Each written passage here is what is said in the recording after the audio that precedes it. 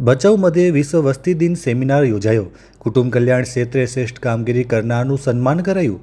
સમાજમાં વધતી જતી વસ્તીની સ્થિરતા લાવવા સારું અને જનસમુદાયમાં આ બાબતની જાગૃતતા આવે તે ઉદ્દેશ્યથી ચાલુ વર્ષનું સ્લોગન, વિકસિત ભારતની નવી પહેચાન, કુટુંબ નિયોજન દરેક દંપતીની સારને સાર્થક કરવા, તાલુકાના સ્ત્રી આરોગ્ય કાર્યકરો, આશા બહેનોનો તાલુકા આરોગ્ય કચેરી ભચાઉ દ્વારા આજરોજ તારીખ ત્રીસ જુલાઈના અંધજન મંડળ હોલ મધ્યે સેમિનારનું આયોજન કરવામાં આવ્યું હતું.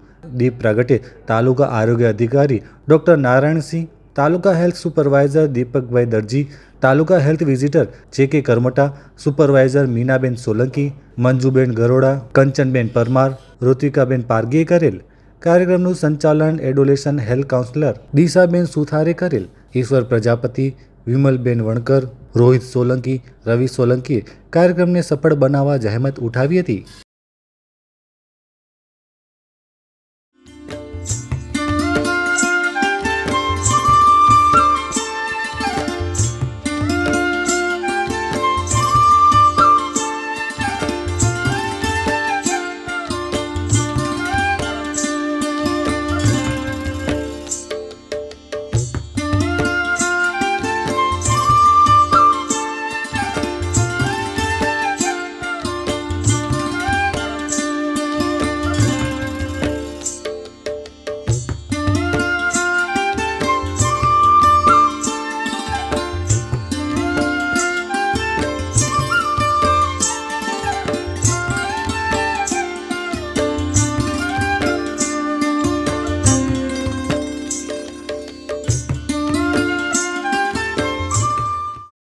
મેલેરિયાનું કારણ. જમા થયેલા પાણીમાં પેદા થવાવાળા એનોફિલિસ મચ્છર.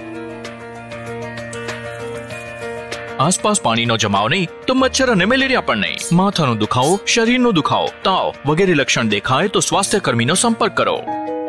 ગર્ભવતી મહિલાઓ અને બાળકોના માટે વિશેષ સાવધાની જરૂરી છે. ઇલાજમાં વિલંબના કારણે મેલેરિયા જીવલેણ પણ બની શકે છે. સરકારી હોસ્પિટલોમાં મેલેરિયાની તપાસ અને ઈલાજ મફત છે.